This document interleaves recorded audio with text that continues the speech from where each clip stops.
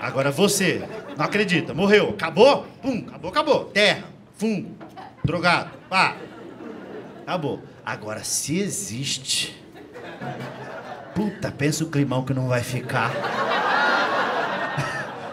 Deus falou: não, Laísa, eu vou receber, deixa que eu recebo. La... Laís entrando e falou: não repara a bagunça que eu achei que você não, acreditava, não existia nada, nem arrumei pra você.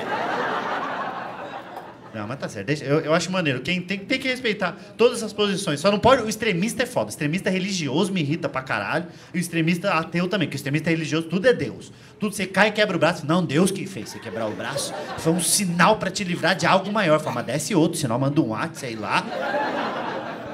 Trata um carro de telemensagem, precisa quebrar meu braço. Que relacionamento abusivo é esse que Deus tá quebrando meu braço? Nossa, e esse olho roxo? Foi Deus, foi Deus. Né? Foi Deus, né? Não, caí da escada, não foi Deus.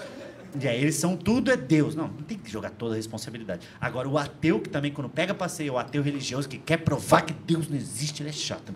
Você tá indo embora e fala, vai com Deus. Fala, não existe Deus. Fica você, você que acredita. Eu vou embora sozinho. Entra no carro dele, o adesivo fui eu que me dei. Foi ele que. As próprias mãos ele conseguiu aqui. E aí você tem um agnóstico, né? Que é. Tem algum agnóstico na plateia? Bate palma? Algum agnóstico? Não vai bater palma nem fudendo agora, né? Porque, não...